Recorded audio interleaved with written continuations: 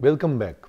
Uh, today in the uh, continuous series of the microscopic balances, we shall be looking more into this aspect and we shall now see the what are the kinds of uh, modeling assumptions we make and what are their effects on the uh, balance equations. So, first is the shape of the control volume and as we have seen in our earlier lecture that depending on the shape of the control volume we have to choose the appropriate coordinate system. For example, if we have a rectangular or a cuboid structure then we will choose rectangular coordinate. If we have some cylindrical structure generally we go by cylindrical coordinate and if we have some spherical structure we go by the spherical coordinate. Now, in this case you must be very careful in understanding that when we talk of the control volume and when we talk of the actual system these two may not be the same. That means that whenever you are studying some system, you choose the control volume maybe within the system because your focus may be on the particular domain of the overall system. So, depending on which domain is, is our interest, the uh, shape of the control volume will depend on that particular domain and not on the physical boundary of the actual system. And this particular point I also explained to you in earlier lecture when I told you that suppose you have a sphere and in the sphere we define generally two boundaries, one at the center of the sphere and at the periphery of the sphere. But uh, in actually there is only one boundary that is the um, uh, at the periphery of the sphere. So, for mathematical purpose we define two boundaries that is for the control volume we define two boundaries one at the center and one at the periphery. So, similarly you can see that depending on what you want to study in what region you want to make the studies, you have to choose the appropriate shape of the control volume and depending on the shape of the control volume, you have to choose the appropriate coordinate system. Next, we come to the size of the control volume. Now, the control volume size will depend on how much you want to study. Like earlier when we were talking about the macroscopic and balances and the uh, in the in that what we found that in the macroscopic balance when we were uh, doing the overall system we are looking into and we also assumed that all the properties are having some average value or some uh, single value so, in that case we put the size at the overall uh, system where, we were not really bothered about the distribution or the profile of any of the extensive or intensive properties. On the other hand, when we went to the microscopic balance, what we did, we uh, uh, disintegrated the whole big system into small, small pieces. And then we started looking into what is happening in that particular small or what we call the infinitesimal control volume. So, in that way you see that depending on the size of the con control volume, we will be having different types of information. And in case of microscopic balances, we choose a very small size of the control volume over which we make the balance equations or apply the conservation laws and then look at the whole domain to find out how the particular uh, variable like temperature, concentration etc. are varying over the control volume okay and this is first. And second thing is this that when we go for the selection of the boundary conditions that is this size is very important to us. Why? Because some many a times we say that we have infinite boundary. Now how do we realize this infinite boundary? It is not that any physical domain will have some kind of finiteness. Infinite means that the, the uh, with respect to the region of our study, the boundaries of the physical system may be very far away. In that case what we do, we many times neglect the effect of the uh, boundary which is far away from the control volume of our study or interest. Okay? In that respect, we can say that at the far boundary, we sometimes assume that the particular um, variable is having some constant value or we can also assume the flux of the particular variable is 0. Uh, that means we may either assume a Dirichlet boundary condition or we may assume a mm, uh, um, Neumann boundary condition. Now, 0 I just give you for example, you, it may also have some non-zero values as well. Okay? So, that means the infinite volume in a mathematical term is given in uh, will be given in terms of the size of the control volume of our interest. Next comes the phases in the system. Many times we find that we are dealing with not single phase, but many phases, multiple phases. Phases means we may be having liquid uh, with solid and then gas or vapor. Now, you see that for example, if you talk of a um, liquid evaporating from some vessel into the atmosphere, here we find that uh, there will be um, the liquid phase, one liquid phase and from that liquid phase another vapor phase is getting generated. Okay. Similarly, suppose you are uh, heating some liquid on some oven, then what we find that from the bottom of the vessel, we find that vapor bubbles are formed and which then move through the liquid. So, in that case what we find that initially which was a single phase system, we are generating two phase system. Now, these two phase characteristics will be different from the single phase characteristics. That means, when you want to know the, the temperature distribution within this particular liquid. Now, when the liquid is in single phase, you will find due to this heat, there will be a certain uh, temperature distribution. On the other hand, when there are two phases, that means the bubbles are now getting generated in the liquid, you will find that the uh, temperature distribution has got affected because there will be now some uh, energy interactions between the bubble uh, or the gas and the liquid due to which the temperature profile will now change. Okay? So, that is why we have to be very careful to understand the effects of the various types of phases involved and please understand that while the process is going on, there will be a number of phases may change. Like I have given the example of the boiling of the liquid.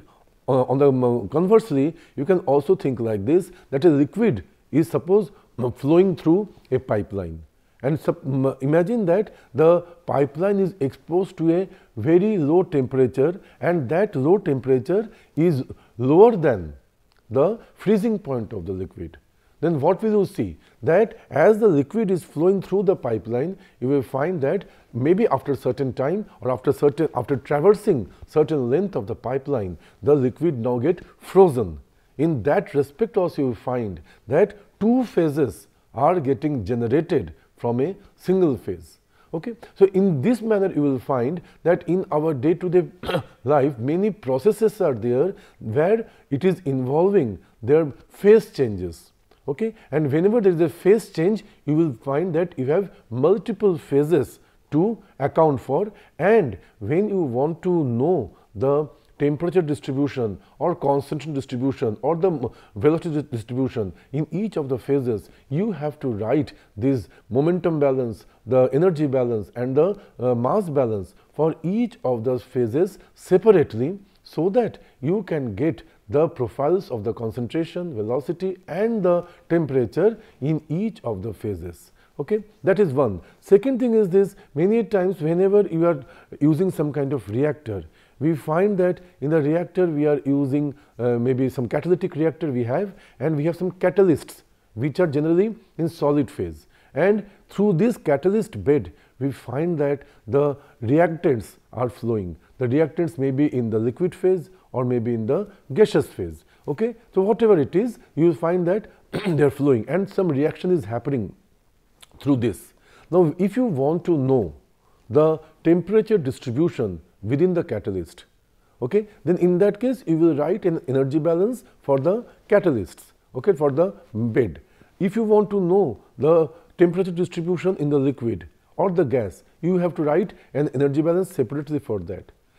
Also you mind it that when you look at the overall uh, microscopic balance like the Navier-Stokes equation, you will find that many of the terms, all the terms may not be important for uh, each of the phases. If for example, in the solid phase, if the solid is considered to be remaining static, in that case what you find the solid will remain static, so it will not be moving. So, any kind of velocity associated with the solid will be neglected. That means, there will not be any convective heat flow by the solid. Okay. So, for the solid it is only the conductive heat flow. So, when you look at the uh, the energy balance equation, you will you can easily neglect all the convective terms and you will be having only the conductive term with you.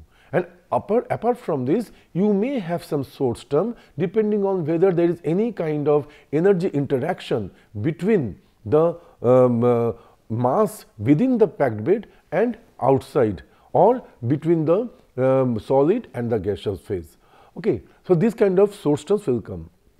So, similarly, when you look at the liquid or gaseous phase, in that case you find that you cannot neglect the convective terms. Now, also we know that for the liquids and gases, the conductive terms are generally negligible in comparison to the convective terms. So, if that is the case, in that case you again see that you can simplify the energy balance equations by simply dropping all the conductive terms and retaining only the convective term.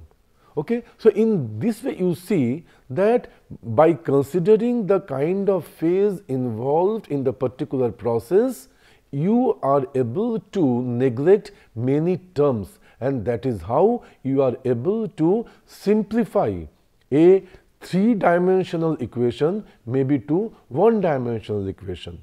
Okay? Similarly, you can do this kind of analysis for many other purposes. For example, if you want to know that how the, um, uh, the some pollutants are getting distributed in the air. Many a times you find from the industries, you have, might have found a chimney and from there you find that some plume gases are coming out and especially if you pass by some refinery or some fertilizer plant or some other chemical plant, you will find that something is coming out on top. And what do you find? Sometimes you find they are dark colored, black colored plumes are coming out. What are basically? They are basically the carbons Okay. Similarly, many other gases also come out from these industries and they get into the atmosphere.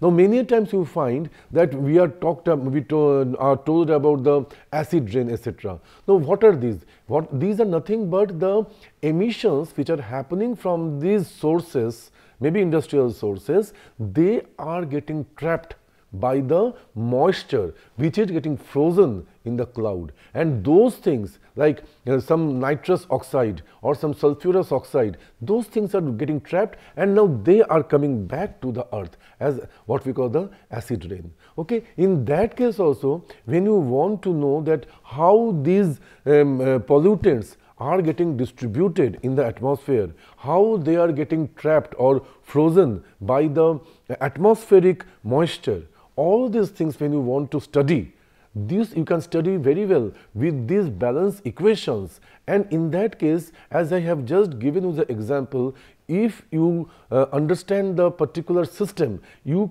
can simplify a uh, 3D equation to maybe a 2D or 1D equation that is going to help you to get a very good understanding. It is not that by simplification you may not be always getting uh, bad results. It is not so because you may find that even if you are considering some 3D problem and you are not simplifying it, you may find that ultimately the result you are obtaining after so much of effort is, is no, no better than what you are getting by solving for a 1D problem.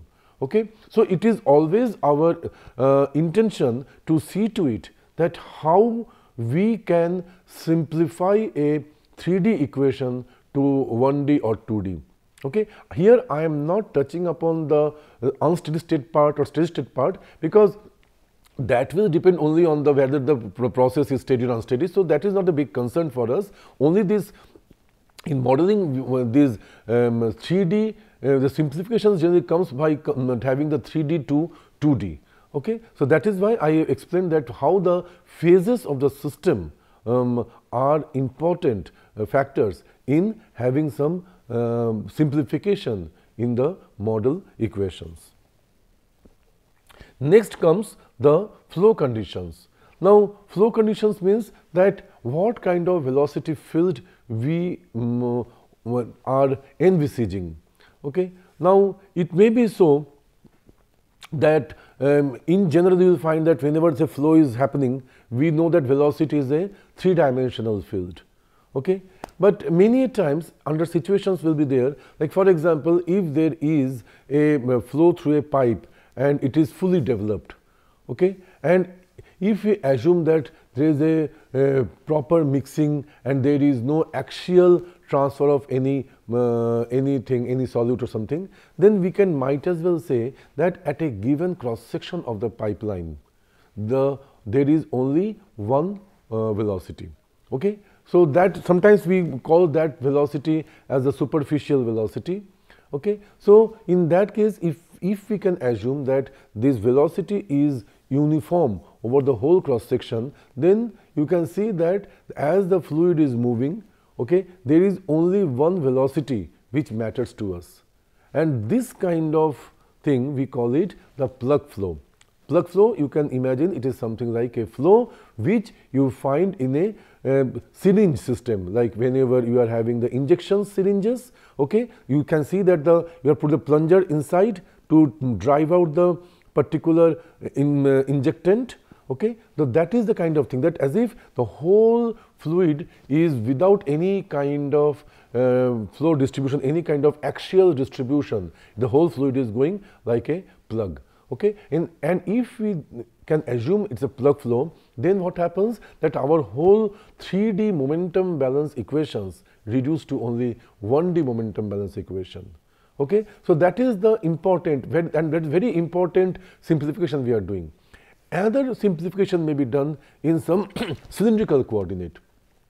In that what happens that many times that in the cylindrical coordinate we can assume that there is axial symmetry.